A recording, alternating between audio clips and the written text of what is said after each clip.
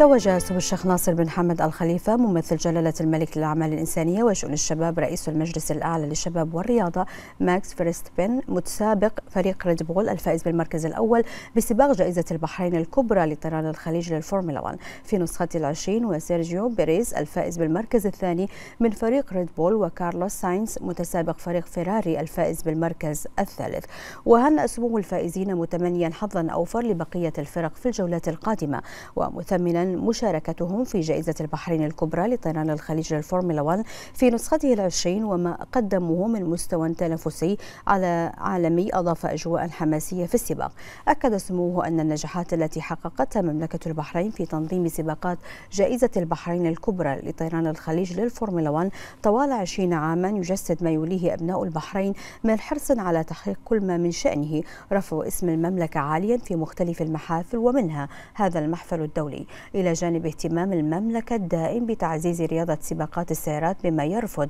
أهداف المسيرة التنموية الشاملة بقيادة حضرة صاحب الجلالة الملك حمد بن عيسى الخليفة ملك البلاد المعظم رعاه الله ومتابعة صاحب السمو الملكي الأمير سلمان بن حمد الخليفة ولي العهد رئيس مجلس الوزراء حفظه الله. أشار سموه إلى أن مملكة البحرين تحتفي هذا العام بمرور 20 عاما على تنظيم مملكة البحرين لسباقات الفورمولا 1 منوها بما تمتلكه البحرين اليوم من مقومات وإمكانات عززت من تنافسيتها في استضافة هذه السباقات وتحقيقها النجاحات